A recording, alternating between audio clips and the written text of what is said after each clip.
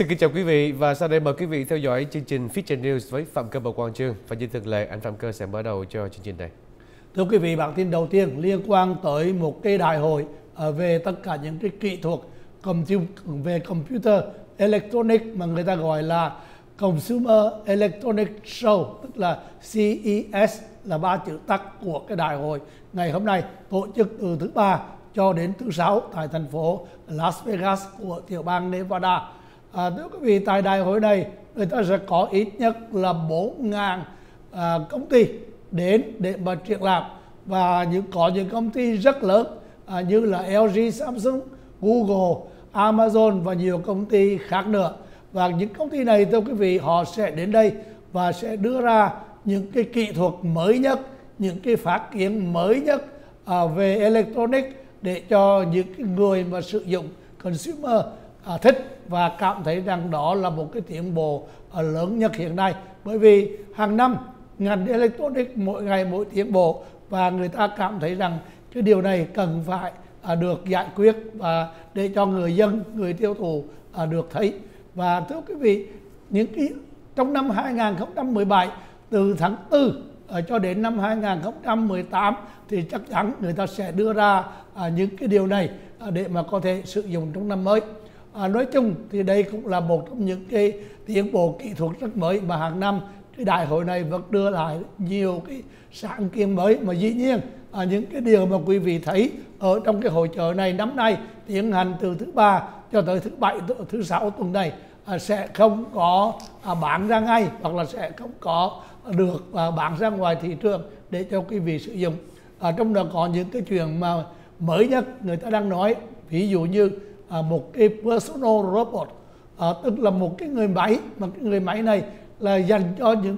phục vụ cho cá nhân từng người. Và đồng thời thì người ta cũng có những cái security camera à, robot. Tức là những cái người có người máy mà trong đó họ mang theo những cái những cái camera về an ninh. Và những cái camera này thưa quý vị có thể nhận diện được mặt người. À, và dĩ nhiên là có thể à,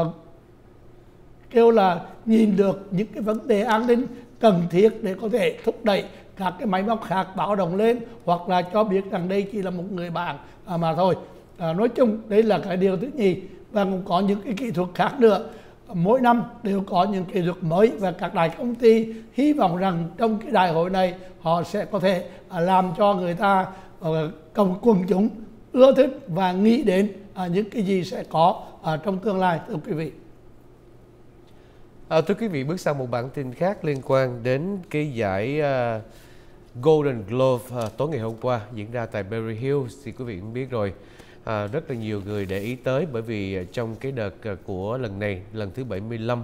à, nó có cái vấn đề mà những người phụ nữ đã đứng lên để mà à, muốn kết thúc cái cái cái cái cái vấn đề mà bị lạm dụng tình dục ở tại trong những cái à, nơi sản xuất phim ảnh lớn nhất của của thế giới đó là Hollywood à, và họ muốn đổi sang một cái kỷ nguyên mới tức là bắt đầu từ bây giờ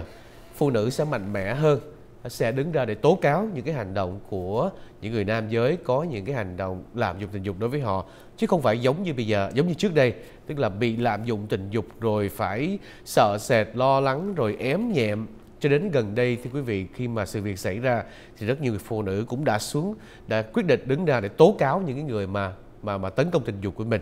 À, như vậy thì nó mới có cái câu mà gọi là cái hashtag là Me Too.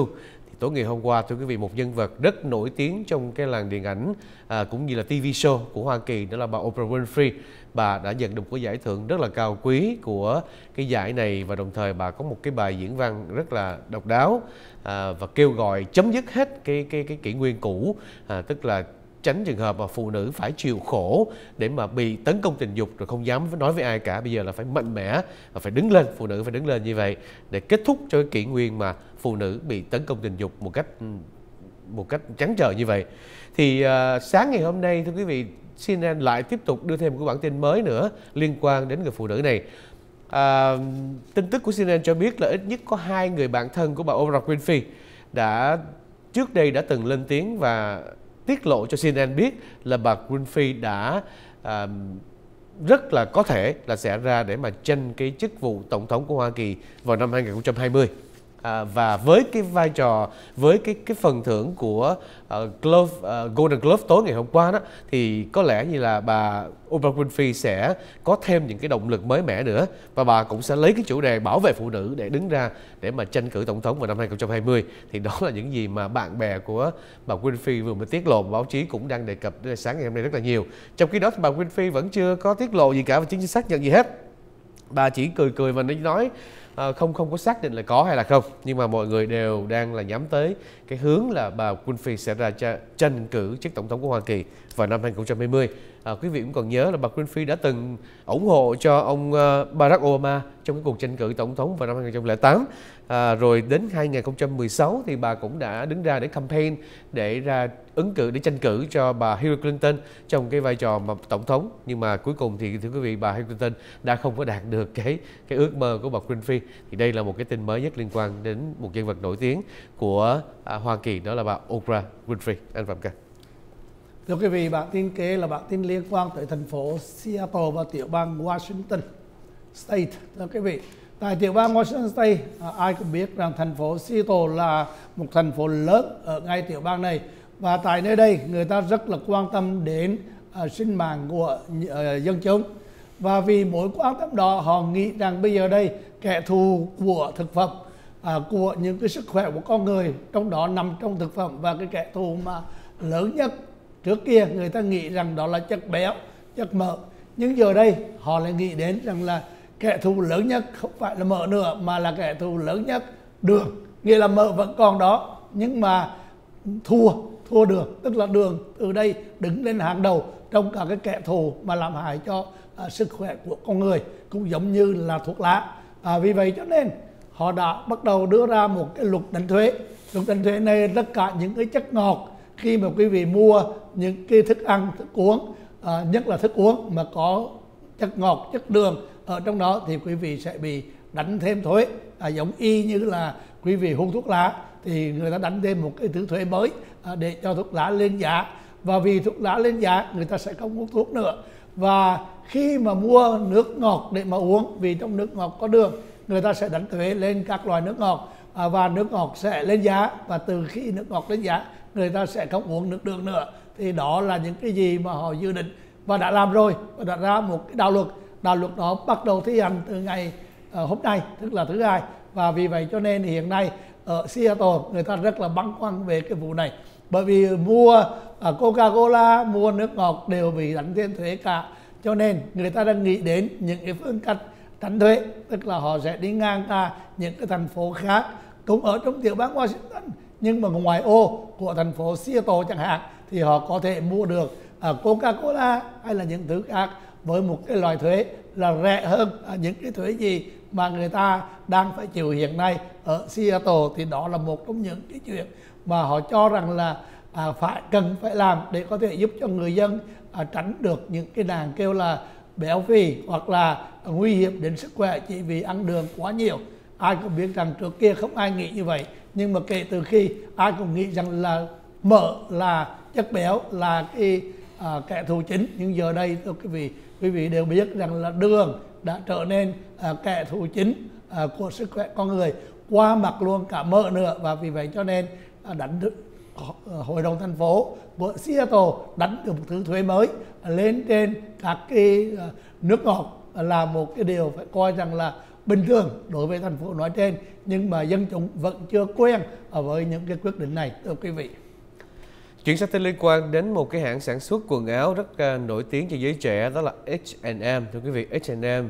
à, phát ngôn nhân của cái hãng này đó là cô Anna Erickson à, vừa mới đưa ra một cái lời xin lỗi đối với lại khách à, mua hàng của cái tiệm này. Đó là thưa quý vị một cái hệ thống bán hàng online ở tại bên Thụy Điển đã có đăng quảng cáo một cái tấm hình. Tấm hình này có một cái đứa trẻ là một cái đứa trẻ Mỹ da đen mặc cái áo của H&M với cái dòng chữ à, là coolest monkey in the jungle. À, cái câu cái câu này đó thì thường thường quý vị thấy là những cái áo thun đó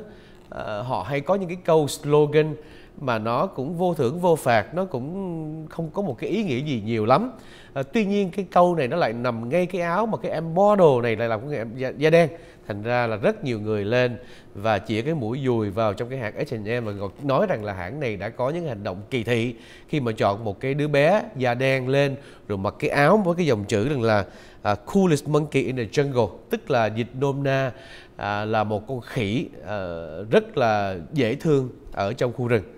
thì thưa quý vị với cái câu như vậy thì người ta nghĩ rằng là cái hãng này đã ám chỉ cái cái, cái, cậu bé mỹ đen là một con khỉ. Thành ra là ngay lập tức cái hãng H&M đã lên tiếng và xin lỗi. Dĩ nhiên thưa quý vị cái hình ảnh mà được quảng cáo ở trên một cái trang mạng online ở tại bên thụy điển đã phải uh, lấy xuống. À, tuy nhiên thì uh, vẫn có cái lời xin lỗi của cái hãng này và bây giờ thì người ta cũng đang trông chờ cái sự ờ, bỏ qua tại vì đó là chỉ qua là cái vấn đề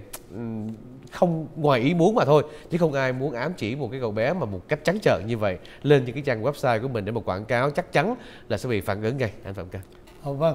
Và thưa quý vị câu chuyện vừa rồi à, đã chấm dứt phần đầu tiên của chương trình Vision News hôm nay. Chúng tôi sẽ trở lại trong giây lát sau một vài tin tức thương mại.